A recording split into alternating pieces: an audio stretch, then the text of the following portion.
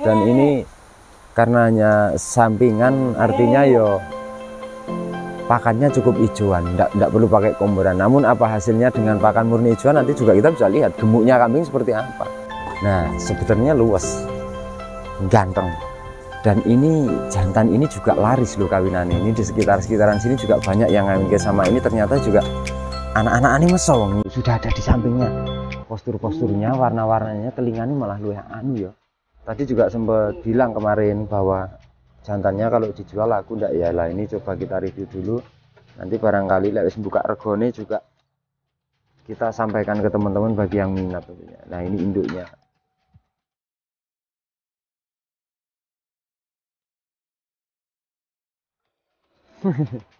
Kandang kecil itu tentunya juga bisa termanfaatkan dan bisa difungsikan untuk pelihara kambing. Dan di kandang tetangga kita ini satu kandang ini kandang tua masih ada materi tiga ekor. Sebetulnya kita mau ngobrol banyak mau podcast banyak dengan beliaunya namun kebetulan juga tidak ada di kandang. Jadi mau seperti apa ya kita paling tidak lah. Kita review-review barangnya aja dulu kita lihat modelnya seperti apa seperti apa. Barangkali nanti ada yang teman-teman yang minat tentunya juga bisa dong. Nanti dijawab melalui kami juga bisa. Dan e, karena sempat tiga atau empat hari yang lalu itu uh, bude saya itu pernah bilang itu lanangin nek didol payu pora ya mesti ini kan jantan ya namanya kambing juga payu. Tapi untuk masalah harga kita belum kasih tahu hari ini karena kita ini kebetulan rumahnya kosong dan tidak ada orangnya yang paling pokok adalah kita melihat saja nanti melihat model kambing-kambingnya. Ada anu ada dire ada jantan dewasa ada induk. Namun kemarin sempat bilang yang mau dijual itu jantannya. Usia paling sekitaran ya dua tahun. Nah ini ini profilnya ini kandangnya. Ini di sini tuh ada tiga ekor. Ada tiga ekor. Karena ternaknya ini tidak buat penghasilan pokok tentunya hanya buat sampingan di mana beliaunya itu memang kerjanya fokus juga di kayu. Dan ini adalah sekedar untuk kegiatan tambahan dan masih mampu dengan tiga hmm. ekor. Dan ini tetap tentunya juga ada hasilnya karena eh, berapapun ekornya itu ketika dirawat dengan konsisten diopeni benar-benar nyatani yono cempene. Dan ini hanya satu keluarga. Satu induk satu jantan dan satu anak. Hanya ada satu keluarga. Ini belum melalui program KB mungkin juga kita akan ada nanti apa kasih tahu ilmu aritmatika yang benar kalau kambing itu harapannya mana ojo mek sitok. Bahkan menyalahi dari program KB pun sebenarnya tidak akan ada masalah. Mana lebih banyak kalau terawat lebih bagus. Aku sebenarnya sebelum fokus ke jantannya kita akan melihat ini betinanya. Dan kandang ini multifungsi juga karena ini ada tiang-tiang bekas rumah Jawa. Ini nek, digenteni oleh rayo Ya Gun. Nek, nek digenteni oleh rayo. Oleh kene. Asal cocok. Kono gasebo lho. Pola makannya aja karena hanya sebagai hasil tambahan masih menggunakan pola-pola makan tradisional.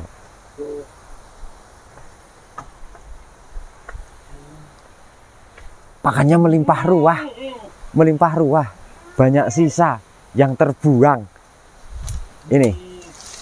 Memang karena kalau cuma tiga ekor itu mungkin makannya juga cuma sedikit ya. Artinya dengan satu gawan bot itu ketika dipakai ini sisa-sisa. Dan ini karenanya sampingan artinya yo pakannya cukup hijauan. Tidak perlu pakai komboran namun apa hasilnya dengan pakan murni hijauan nanti juga kita bisa lihat gemuknya kambing seperti apa dan jantannya lumayan. Baik nanti tergantung panjenengan semua. Ini arak kelas breeding arak kelas kurban arak kelas opo nanti tergantung panjenengan semua selera tak ngarani apa. Nanti tentunya kita akan lihatlah spesifikasinya. Namun ini dere yang pojok sini juga ada yang luas kandang ini sejak saya kecil teman-teman. Kandang ini sejak dari saya lahir itu sudah ada. Dan posisinya tidak berubah tempat juga di sini.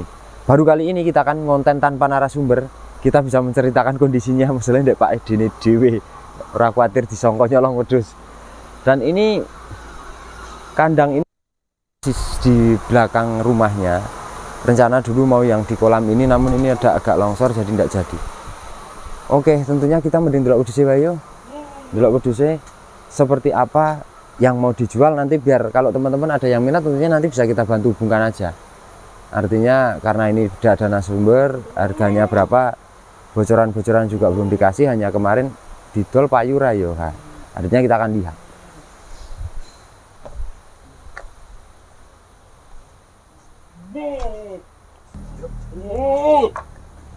Kalau kita melihat jantannya nah sebenarnya luas ganteng.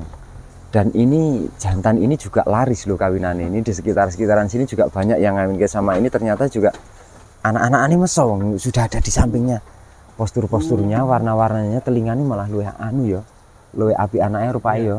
Nemplek bos. nemplek. Dan ekornya juga luas ini jelas anak pasungnya juga luas dan babonnya yang di sana di pojok. Nah kalau kita melihat hasil anakannya seperti ini artinya jantan ini pasti punya keranda saya tahu persis kerandanya tapi saya tidak berani ngomong di publik.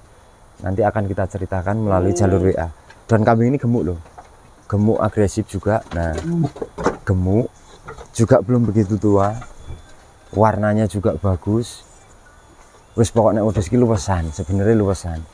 Kalau nggak kelas liane luwesan kita iya ora. Umurnya kira-kira berapa bos? ini sekitar dua setengah tahun. Dua setengah tahun dan ini produktivitasnya sangat tinggi libidonya sangat luar biasa. Nah kita melihat memang telinganya tidak begitu lebar tapi ini nemplek apa? Ini gitu nemplek nah, rewasnya juga masih tebal sebenarnya. Proporsional tubuhnya juga api. Rewasnya akan tebal nah ono wedhus kumat kawin ini begitu toko mesti langsung dianjat. Nah babonnya yang di sini.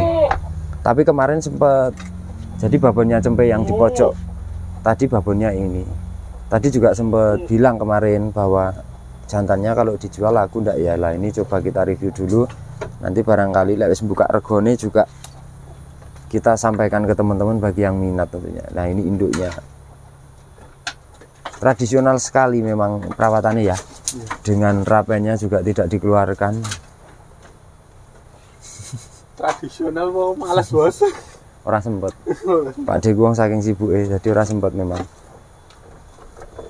Oke berarti ini gimana? Ini inti inti sarinya karena karena kita review tanpa narasumber ya intinya inilah kemarin yang sempat dirasani mau dijual ya nanti coba coba kita tanyakan ya. Hah? biar kamera yang detail ya. Oke.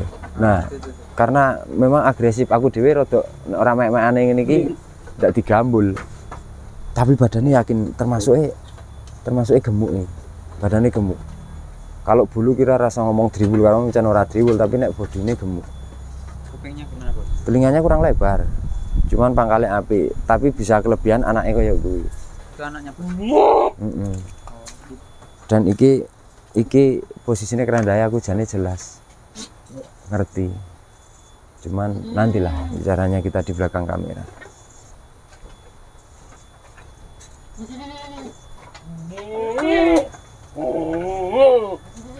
aneh ya kita rasanya ya kalau apa ngonten tanpa narasumber itu aneh ya Iya. lucu dewe maksudnya nah pola makannya karena murni jon ya edan mangane kayak loh loh